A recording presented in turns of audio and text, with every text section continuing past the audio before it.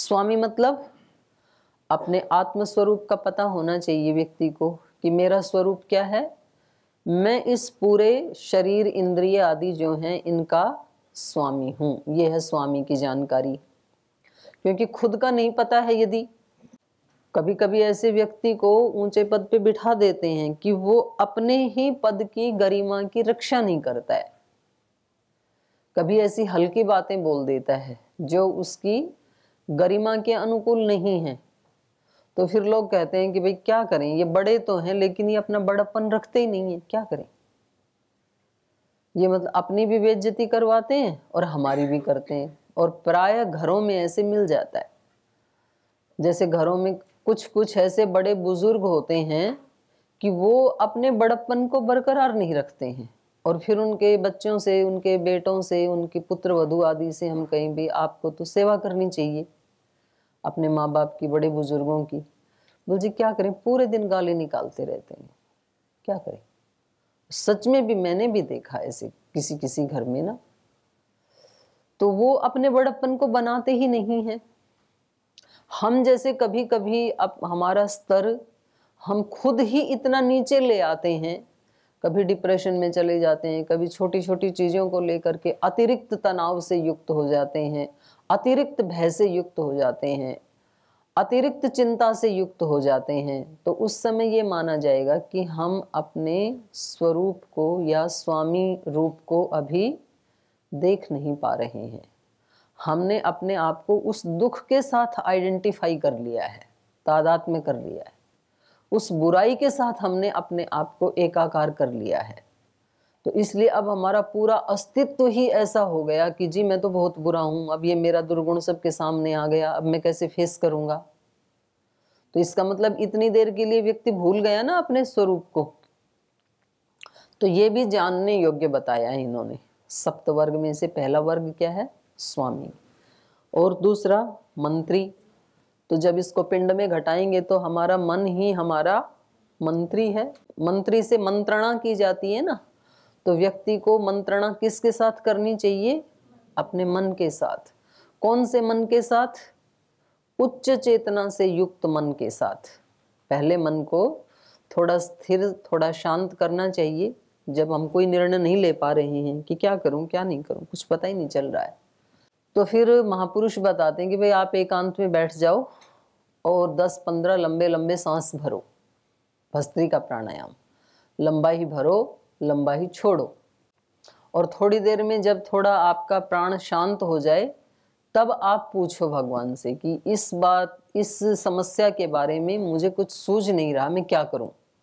तो उस समय वो जो मंत्रणा आप कर रहे हैं अपने ही मन से, अपने ही मन के साथ तो वहाँ से कोई ना कोई समाधान ज़रूर निकल के आता है। इस प्रकृति में इस समष्टि में हर समस्या का समाधान है। कोई ऐसी समस्या नहीं जिसका समाधान ना हो बल्कि समस्या एक है और समाधान अनेक है। मेरे को थोड़ा गला खराब हो रहा है खांसी हो रही है। तो क्या आप में से कोई बता सकता है कि मुझे क्या करना चाहिए? भाई वन बाई वन मुलैठी मिश्री मुलेठी मिश्री काली मिर्च, इसको चूसते रहो। जी, और दूसरा बोलो। हाँ। स्वसारी बटी खा लो। कंठामृत ले लो। लवंग आदि बटी ले लो। उज्जाई प्राणायाम। स्वसारी बटी को चॉकलेट की तरह चूसना ऐसे ही पानी से नहीं गिटकना। और?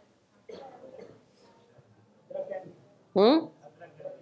अदरक कैंडी अंदर अदरक कैंडी चूसते रहो। और कुछ भाप आदि भी तो बता दो स्टीम आदि भी तो ली जाती है। स्टीम ले सकते हैं। ज्योतिषमती डाल लो, पूरा खेखाट उठेगा डालते। खाने पीने में कोई परहेज? चावल नहीं खाना। दूध, दही नहीं खाना। ठंडा पानी नहीं पीना। हम्म? चिकना नहीं खाना, घी या कोई भी चिकना नहीं खाना। तो समाधान हो गए पूरे की और भी हैं अभी। अभी मैं आधा घंटा लगाऊँ तो आप आधा घंटा मेरे को समाधान देते रहोगे। तो मेरे पास समस्या एक और समाधान पर ये समाधान दूसरे के लिए है। अपने लिए नहीं होते हैं, समस्या ये है ना। तो ये सारी प्रकृति में हमारी हर समस्या का समाधान है। और समाधान मैं कह रही हूँ, एक नहीं है, अनेक हैं। तो आप कभी एक को अपना सकते हैं, कभी दूसरे को, तीसरे को, चौथे को। तो खांसी हुई है तो ये कोई शाश्वत थोड़ी है। एक दो दिन में अब भाई इतनी वटियाँ तो मैं खा नहीं सकती हूँ। लेकिन एक कंठामृत खा रही हूँ, एक दो दिन में ठीक हो जाएगा, ठीक है। गर्म पानी पी रहे हैं, चिकन आदि नहीं खाना है, बस इतनी सी तो बात है ना। तो इसलिए हमें, मैं ये बताना चाह रही थी यहाँ पर कि स्वामी के रूप को जानना और अपने मन से मंत्रणा करना। यहाँ मंत्री को भी एक वर्ग बताया ना? तो हम जब अपने ही मन के साथ मंत्रणा करते हैं तो एक तो हमारा व्यष्टि मन है और एक इस प्रकृति में समष्टि मन है। तो वो जो समष्टि मन है, वो व्यष्टि मन को समाधान दे देता है। तो ये सब के लिए भी है उपदेश, भरत जी के साथ साथ अपने राष्ट्र को जानना। तो पूरा अपना अस्तित्व ही राष्ट्र है, अयोध्या बताया ना इसको। अष्ट क्या है? अष्ट चक्रा नव द्वारा देवा नाम पूर अयोध्या। ये आठ चक्र और नौ द्वार वाली पुहु, पूर है ये, पूरी है, अयोध्या पूरी है ये। तो अपने राष्ट्र के बारे में, अपने शरीर के बारे में पता होना चाहिए। दुर्ग दुर्ग वो स्थान होता है जिसमें छिप करके शत्रु का नाश किया जाता है। जिसको किला भी बोलते हैं ना। तो किले में रह करके खुद तो सुरक्षित रहता है और वहाँ पर वो मशीन गन आदि लगा के रखते हैं तो नीचे जो शत्रु हैं उनको भून दिया जाता है। तो व्यक्ति को ये भी पता होना चाहिए कि मुझे अपने दोषों का नाश करने के लिए मेरे लिए सुरक्षा कवच क्या है, दुर्ग क्या है? तो वो भगवत भक्ति ही ऐसा दुर्ग है। योग ही ऐसा दुर्ग है, उसकी शरण में रह करके हम उसको भेद सकते हैं। दुर्ग, कोश, शक्ति कितनी है? पंगा इतना ही लेना जितनी ताकत है। बहुत बड़ा पंगा लिया यदि तो फिर नष्ट भी हो सकते हैं। आपने यदि कोशिश की कि जी, मैं तो वो सामान से भरे हुए ट्रक को ऐसे दोनों हाथों से रोक दूँगा तो पता चला वो कुचल ही जाएगा फिर। और यदि किसी में इतना बल है तो कोई तो ट्रेन को भी रोक देते हैं। तो जितना अपना कोश है, अपने पास सामर्थ्य कितनी है, उसका भी पता होना चाहिए व्यक्ति को। सामर्थ्य कम है तो सामर्थ्य बढ़ाओ पहले। मान लो ज़रूर आपको ट्रक ही रोकना है, यही जीवन का लक्ष्य है। और अभी सामर्थ्य एक साइकिल को रोकने की तो फिर बल को बढ़ाओ। तो धीरे धीरे बाइक को रोको, फिर छोटी कार को रोको फिर बड़ी को रोको ट्रक को भी रोक लेना। तो कोश, सेना, अपनी जो इंद्रियाँ हैं, ये ही अपनी सेना है। मित्र मित्र क्या बताया है योगी का? सत्यम मित्र मिदम दया च भगिनी। सत्य ही अपना मित्र है, अपने मित्र को पहचानना। मेरा धर्म, मेरा सत्य, मेरी अहिंसा, मेरे पास जो जो हैं, वो मेरे मित्र हैं। ये सारे अपने मित्र बन जाते हैं, अहिंसा, सत्य, अस्ते, ब्रह्मचर्य। हम्म। तो ये सात अंग बताए, सात वर्ग के बारे में बोला ना इन्होंने। और अष्ट वर्ग क्या है? पैशून्यम साहसम द्रोहम ईर्षा सूया, असूयार्थ दूषणम, वागदंडयोश्च पारुष्यम क्रोध जो अपि गणो अष्टक। ये मनुस्मृति का है।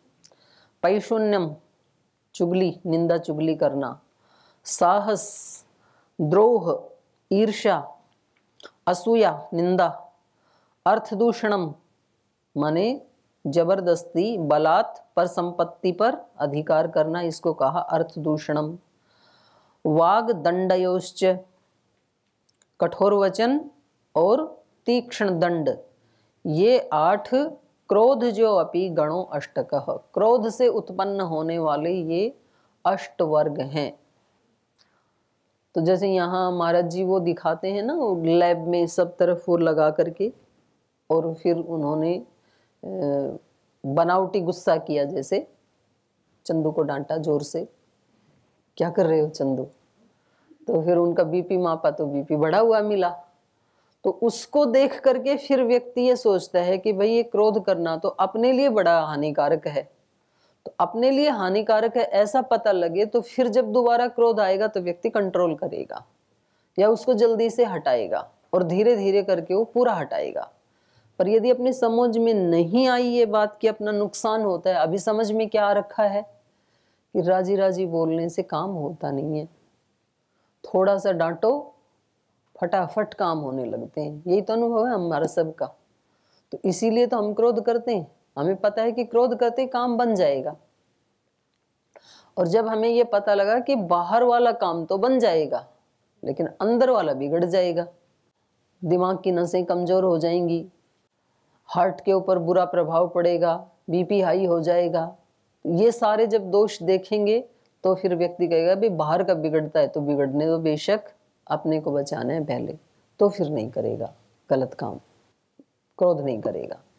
तो ऐसे ये भी आठ दोष बता रहे हैं कि क्रोध से उत्पन्न होने वाले क्या क्या हैं? क्रोध के कारण ही तो व्यक्ति चुगली करता है, किसी को किसी के ऊपर गुस्सा है तो अब उसके ऊपर गुस्सा निकाल तो सकता है नहीं, और उसके दोष दुर्गुण किसी दूसरे को बताता है, ये तो चुगली है, उसी को तो निंदा कहते हैं। और साहसम साहस की जगह यहाँ दुस्साहस, ऐसे साहस का अर्थ यहाँ पर, दुस्साहस है। क्रोध में आकर के कभी कभी व्यक्ति दुस्साहस कर लेता है। और क्रोध से ही द्रोह उत्पन्न होता है, ईर्ष्या उत्पन्न होती है, असूया उत्पन्न होती है अर्थ दूषणम किसी की संपत्ति को हड़पने की का जो दोष है वो उत्पन्न होता है। और कठोर वचन भी व्यक्ति गुस्से में ही बोलता है। और दंडयोश्च, किसी को दंड भी गुस्से के कारण ही देता है, पारुष्यम, कठोरता भी क्रोध से ही उत्पन्न होती है। तो ये क्रोध से उत्पन्न होने वाले आठ वर्ग हैं। तो श्री राम उनको बता रहे हैं कि अष्टवर्गम, त्रिवर्गम च, तीन वर्ग क्या हैं? धर्म, अर्थ और काम। मोक्ष अपने आप। ये तो पहले भी आया था कि धर्म के लिए, अर्थ के लिए और काम के लिए, माने सत्काम के लिए, काल का विभाग करके रखना। हे कालज्य, कल भी आया था ना? सुबह सुबह का टाइम किसके लिए है? योग प्राणायाम के लिए, इसकी भाषा में पूछ रही हूँ। सुबह सुबह का टाइम क्या कमाना चाहिए? धर्म कमाने के लिए है। और नाश्ते के बाद वाला टाइम अर्थ कमाने के लिए कुछ नया अर्जन करना है। और तीन चार बजे के बाद का टाइम सत्काम। आपकी ड्यूटी लगती है ना, खेत में काम करो। सेवा। और ये तीनों यदि ठीक आपने बांट रखे हैं टाइम अपने तो मोक्ष अपने आप ही मिल जाएगा। तो चौथे की चर्चा नहीं की यहाँ पर, धर्म, अर्थ, काम की चर्चा की रामायण में। तो इसलिए इन्होंने कहा, त्रिवर्गम यथावत अनुमन्य से भरत जी, आप त्रिवर्ग को ठीक से जानते हैं ना? धर्म, अर्थ और काम को। विद्या त्रयश्च विद्या तिश्च राघव। हे राघव, तीन प्रकार की विद्या को जानते हैं। तीन प्रकार की विद्या है वेद त्रयी और कृषि आदि कह दिया इन्होंने। वार्ता विद्या, वाणिज्य विद्या भी कहते हैं इसको, और नीति। और एक चौथी विद्या भी होती है आन्वीक्षिकी। न्याय दर्शन जो विद्या है, वो क्या है? अन्वीक्षी की विद्या है। तो यहाँ पर श्री राम उसकी बात नहीं कर रहे हैं, क्योंकि राजा को ये तीन विद्याएँ हैं, ये आनी चाहिए। वेदत्रयी, इसका ज्ञान होना चाहिए राजा को। अब जब राजा को इसका ज्ञान होना चाहिए तो योगी को होना चाहिए कि नहीं होना चाहिए? वेद त्रयी विद्या का ज्ञान योगियों को होना चाहिए कि नहीं? तो फिर आप ऐसे क्यों बोलते हो कि हमें तो जी पढ़ाई में लगा दिया, हम तो पढ़ने के लिए आए ही नहीं थे, हम तो सेवा के लिए आए थे। तो ये तो सबके लिए अनिवार्य बताइए। क्योंकि जब हमारे पास ज्ञान और विद्या ही नहीं होगी तो हम सेवा भी कैसे करेंगे? तो सेवा करने के लिए भी, राजा को भी तो सेवा ही करनी है ना? तो सेवा करने के लिए भी तीन विद्याओं की जानकारी होना अनिवार्य है, ये रामायण बता रही है। वेदत्रयी और कृषि आदि वार्ता विद्या, कृषि, व्यापार, गोपालन, ये सब इसी में आते हैं वार्ता विद्या में। और तीसरा, नीति। तो इसमें मनुस्मृति, मनु जी की नीति, विदुर जी की नीति, चाणक्य जी की नीति, ये नीति ग्रंथ है ना, इनका भी हमें पता होना चाहिए। यदि नीति नहीं पता है तो भी व्यक्ति कहीं ना कहीं ठोकर खाएगा जीवन में। क्योंकि सब एक जैसे व्यक्ति नहीं होते हैं। तो उन व्यक्तियों से हम कैसे बचें जो हमारा बुरा करना चाहते हैं, अनर्थ करना चाहते हैं? तो उसके लिए व्यक्ति को नीतिज्ञ भी होना चाहिए। तो नीति ग्रंथ भी पढ़ने चाहिए। हम सबको, आप सबको। और आगे कहा, अष्टवर्गम त्रिवर्गम विद्या तिस्रश्च राघव इंद्रियाणाम जयम बुद्धवा। इंद्रियों के ऊपर विजय कैसे प्राप्त की जा सकती है, इसको आप जानते हैं, यथावत भरत जी से पूछ रहे हैं। तो ये भी एक विद्या ही है, अपनी इंद्रियों के ऊपर यदि खुद का कंट्रोल नहीं है तो आप दूसरे पे कंट्रोल कर नहीं सकते हैं। और प्रायः दूसरों के ऊपर बहुत ज़्यादा कंट्रोल वही व्यक्ति करते हैं जिनका खुद पे कंट्रोल नहीं होता है। जिनका खुद पे कंट्रोल है, वो दूसरों को बिना कंट्रोल किए ही कंट्रोल कर लेते हैं। जैसे योगी महापुरुष होते हैं, संत महात्मा होते हैं, उनका अपनी इंद्रियों के ऊपर वो जय प्राप्त कर लेते हैं। इसलिए फिर वो सारे संसार पे जय प्राप्त कर लेते हैं, बिना कोई युद्ध किए। और जो अपनी इंद्रियों पे विजय प्राप्त नहीं कर सकता है, वो कहता है कि ये गुरुकुल में ये भी गलत है, ये भी गलत है, ये भी गलत है, पहले ये सब ठीक होने चाहिए। वो पूरे दिन झुंझलाता है। तो फिर उस व्यक्ति को ये कहा जाएगा कि भाई, चलो यहाँ जो जो ठीक नहीं है, उसको भी ठीक करेंगे, पर पहले तू खुद को तो ठीक कर ले। तो इसलिए यहाँ राजा को क्या शिक्षा दे रहे हैं? श्री राम, इंद्रिय जय की। इंद्रियाणाम जयम बुद्धवा। षाटगुण्यम दैव मानुषम छह गुण बता रहे हैं। तो ये बता रहे हैं छह गुण। संधिम च विग्रहम चैव, यानम आसनमेव च द्वैधि भावम संश्रयम च षड चिंतित सदा। ये मनुस्मृति में बताया। संधि संधि के बारे में पता होना चाहिए कि किससे संधि करनी चाहिए हमें। तो जो हमारे मित्र राजा हैं, उनके साथ तो संधि करके रखनी चाहिए, मित्र देशों के साथ, मित्र राजाओं के साथ, और जो अच्छे नहीं हैं, उनके साथ विग्रह करना चाहिए। तो संधि और विग्रह दोनों का राजा को पता होना चाहिए। जो लोग हमारे जीवन में हमारा हित करने वाले हैं, ये शास्त्र हैं, गुरुजन हैं, संत महात्मा हैं, और धर्मात्मा लोग हैं, वो हमारा हित करने वाले हैं तो उनके साथ तो हमें क्या करके रखनी चाहिए? संधि। उनके साथ झगड़ा नहीं करना चाहिए हमें। बैर मोल नहीं लेना चाहिए, अच्छे लोगों से बैर नहीं करना चाहिए, उनसे तो संधि करनी चाहिए। और जो बुरे लोग हैं, उनसे विग्रह करके रखना चाहिए, उनसे युद्ध करना चाहिए, उनसे संधि नहीं करनी चाहिए। संधिम च विग्रहम चैव यानम आसनम एव च। यान यान का मतलब इन्होंने किया है आक्रमण करना। और यान का मतलब गति का साधन भी होता है। वायुयान और जलयान। ट्रेन को क्या कहते हैं? रेलयान। रेल पे दौड़ने वाला। हम्म? कौन सा यान? अच्छा लोपथ गामिनी ठीक। संधिम च विग्रहम चैव यानम आसनम एवच आसन का मतलब स्थिर सुखम। आसनम। तो कहाँ आसन लगाना है, माने स्थिर रहना है, कहाँ कोई एक्टिविटी करनी है, वो भी पता होना चाहिए। और द्वैधी भावम। द्वैधी भाव माने शत्रु में फूट डालना। फूट डालो, राज करो, अंग्रेज़ों की नीति थी ना ये।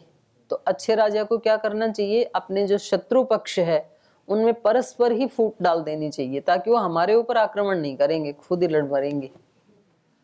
ये तो राजनीति है ना तो ये तो राजा को तो अपना बचाव तो करना पड़ेगा तो उसको मालूम होना चाहिए ये। ये भी एक रास्ता है वे हम क्यों झंझट में पड़े? वो खुद लड़ते रहेंगे तो ठीक है, हम सुरक्षित रहेंगे। तो पाकिस्तान के साथ झगड़ा क्यों करना है?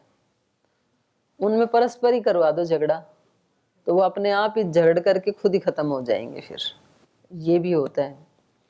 तो ये तो वो पढ़ाई जा रही है ना राजनीति। द्वैधि भावम संश्रयम, आश्रय लेना। तो किसका आश्रय लेना चाहिए ये भी राजा को मालूम होना चाहिए, क्योंकि आश्रय हमेशा किसका लेना चाहिए? अपने से महान का लेना चाहिए। अपने से कम शक्ति वाले का यदि आश्रय ले लिया तो खुद तो डूबेगा, आपको भी डुबाएगा। अपने से बड़ी शक्ति, अपने से बड़ी शक्ति कोई गुरु, संत, महात्मा हो सकते हैं और नहीं तो ईश्वर तो है ही सबका आश्रय। तो इसका पता ये छह गुण बताए। द्वैधि भावम संश्रयम च षड गुणांश चिंतित सदा। तो ये छह गुण इन्होंने बताए, जो इन्होंने यहाँ बताए थे ना, षड गुण्यम दैव मानुषम कृत्यम विंशति वर्गम च। कृत्य क्या है? और विंशति वर्ग क्या है वो इसमें बता रहे हैं नीचे। कृत्यम विंशति वर्गम च तथा प्रकृति मंडलम। कृत्य विंशति बीस का वर्ग, प्रकृति और मंडल, ये क्या है? ये पढ़ रहे हैं। हुताशनो जलम व्याधि दुर्भिक्षम मरणम तथा इति पंचविध दैव मानुसम व्यसनम परम। आयुक्त केभ्य चोरेभ्य परेभ्य राजवल्लभात पृथ्वीपति लोभाच्य व्यसनम पंचधा भवेत। ये है हुताशन, माने अग्नि। आपत्तियाँ क्या क्या हो सकती हैं ना मनुष्य की वो बता रहे हैं। हुताशन, जलम, जल में डूब जाए व्यक्ति, जल प्लावन आदि आ जाए, बाढ़ आदि आ जाए। व्याधि व्याधि का सबको पता ही है। दुर्भिक्षम, अकाल आदि पड़ना तो ये भी आपदा है एक मनुष्य के लिए। मरणम मृत्यु, या इन्होंने अर्थ किया है महामारी, कोई महामारी आदि, जैसे वो आ गया था कोरोना तो ये भी आपदा है ना? इति पंचविधम दैव मानुसम व्यसनम परम तो ये पाँच प्रकार का देवों और मनुष्यों की आपदाएँ हैं। अग्नि, जल, व्याधि दुर्भिक्षम मरणम इति पंचविधम दैवम मानुसम व्यसनम परम और आगे बता रहे हैं, कैसे कैसे आती हैं ये? आयुक्त केभ्यश्च चोरेभ्य परेभ्यो राजवल्लभात। पृथ्वीपति लोभाच पंचधा व्यसनम भवेत। पाँच प्रकार की आपत्तियाँ इन इन कारणों से आ जाती हैं। ये पाँच थी, ये तो हो गया दैवी आपदा, अग्नि जल आदि तो। और ये, और किसी व्यक्ति से जो आ सकती हैं, वो आगे बता रहे हैं। आयुक्त आयुक्त के भ्य किसी अधिकारी के साथ यदि हमारा झगड़ा हो गया तो समझ लो आपने आफत मोल ले ली। जिला आयुक्त ऐसे होते हैं ना, ज़िले का अधिकारी, कोई भी अधिकारी, कोई किसी ऊँचे पद पे है और उसके हाथ में बहुत पावर है तो उस व्यक्ति के साथ झगड़ा नहीं करना चाहिए। पुलिस में है कोई मतलब सड़क पे जो खड़ा है पुलिस वाला और उसको आपने थप्पड़ मार दिया तो क्योंकि वो ड्यूटी पे है ना अभी? आफत मोल ले लिया आपने। तो ये नहीं लेनी है। आयुक्त के भ्य चोरेभ्य, चोरों के साथ यदि पंगा ले लिया तो या तो आपको मारेंगे या तो रंग देंगे अपने रंग में तो ये भी आपदा है। अधिकारी, चोर, परेभ्य, जो अपने नहीं हैं, जो पराए हैं, दूसरे हैं, आतंकवादी हैं या कोई दूसरे देश वाले हैं, शत्रु पक्ष के लोग हैं तो कभी कभी कुछ लोग मिल जाते हैं ना दूसरों से। और फिर वो शत्रु पक्ष वाले लोग क्या करते हैं? पहले इधर का पूरा भेद ले लेते हैं उनसे और इधर विजय प्राप्त कर लेते हैं और बाद में उसको भी मार देते हैं। बोले, भाई, सांप का क्या छोटा और क्या बड़ा? शत्रु हमारे लिए सांप का बच्चा सांप ही होता है, ऐसे बोलते हैं। तो महारानी लक्ष्मीबाई को जिस व्यक्ति ने, उनके परिवार के ही व्यक्ति ने मरवाया, बाद में अंग्रेज़ों ने उसको भी मार दिया। पहले प्रलोभन क्या दिया था? बोले, आप इसके दरवाजे खोल दो किले के और हम इस पे फतेह करने के बाद आपको दे देंगे, क्योंकि आप मैनेजेबल हैं। आप हमारे अंडर में काम कर लेंगे। ये तो सुनती नहीं है। तो उसने लोभ में आकर के खोल दिए और बाद में कहा कि अब मेरे को राज्य तो दो, बोल, तेरे को राज्य? तू अपनी महारानी का नहीं हो सका तो हमारा क्या होगा तू? बोले, उड़ाओ इसका सिर। खत्म। तो इसलिए दूसरों के साथ दोस्ती या शत्रुता करने से भी आफत आती है। राजवल्लभात, राजा के जो प्रिय हैं, राजा जिनसे प्रेम करते हैं, उनके साथ यदि आपने पंगा ले लिया तो फिर आपदा तो आएगी। राजवल्लभात, पृथ्वीपति लोभाच्य पृथ्वीपति माने राजा। राजा के लोभ के कारण भी कभी कभी आपदा आ जाती है। वो अपने लोभ के कारण ऐसी परिस्थितियाँ क्रिएट कर देगा। तो ये पंचधा व्यसनम भवेत। और आगे बताया, बालक वृद्ध, ये तो फिर कल पढ़ेंगे, क्योंकि अभी काफ़ी बच गया तो अभी हमने कहाँ तक पढ़ लिया?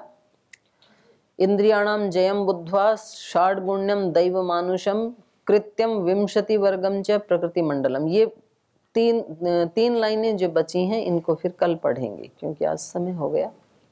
तो आज यहीं विराम लेते हैं।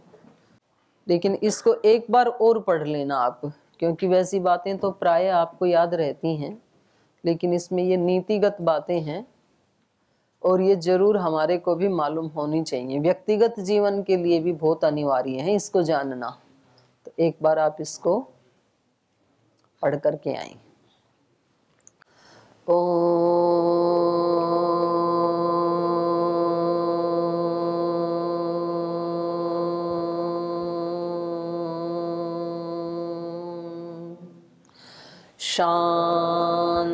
शांति शांति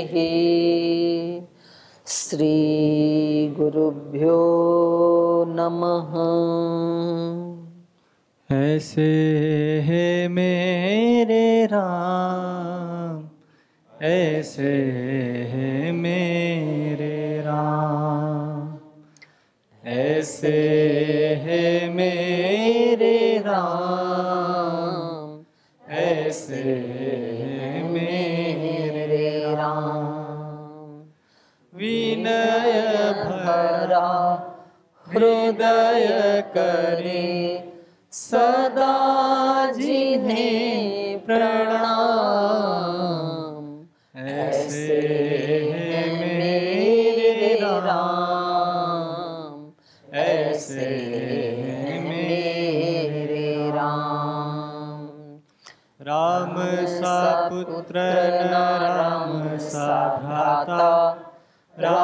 सा पति नहीं राम सा त्राता राम सा पुत्र न राम सा भ्राता राम सा पति नहीं राम सा त्राता राम सा मित्र न राम सा दाता सबसे निभाए सबका नाता। राम सा मित्र न राम सा दाता सबसे निभाए सबका नाता। स्वभाव से उदार शांत, सब गुणों के धाम। ऐसे है मेरे राम।